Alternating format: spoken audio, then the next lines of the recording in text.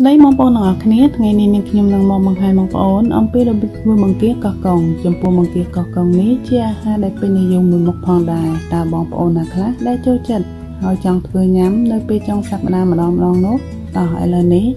សូមចូលទស្សនាការធ្វើជាមួយខ្ញុំទាំងអស់គ្នា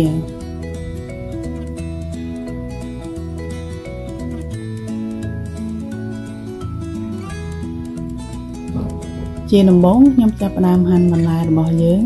មានដូចជាម្រះខ្ញុំហាន់ដើម្បីទុកញ៉ាំជាមួយនឹងបង្គាកោះកុងហើយចំពោះការ៉ុតខ្ញុំហាន់ជាចង្វាមូល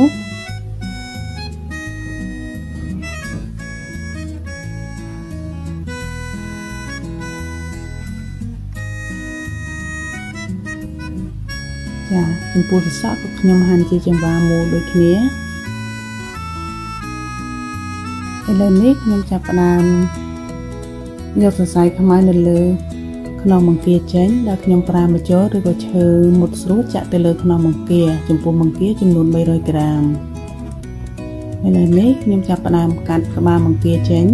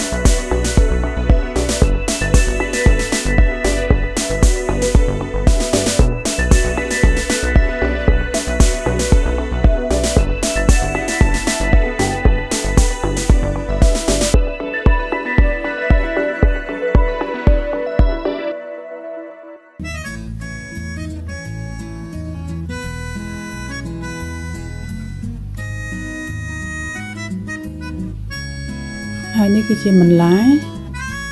គឺជាម្រះរបស់យើងដែលហាន់មុនហ្នឹង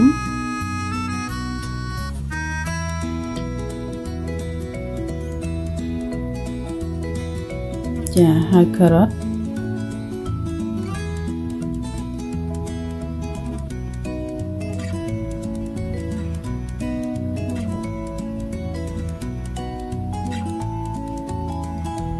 ចាហើយនេះគឺជាជីអង្កាម ហើយនឹងជីពងទាកូន